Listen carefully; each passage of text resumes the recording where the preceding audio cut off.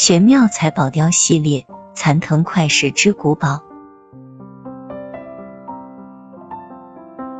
玄妙财宝雕是超越自然美的艺术精魂，谁也不敢相信这样的艺术竟是人工雕刻出来的。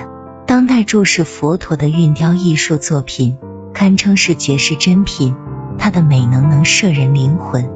许多人在观赏运雕作品以后，叹为观止，发自内心的说：自从运雕出现以后，人类的珠宝就像朗月四周的星星，黯然失色无华。运雕是一种新的艺术形式，是历史上所从未有过的。自从运雕问世以来，人类世界就第一次出现了不可复制的艺术。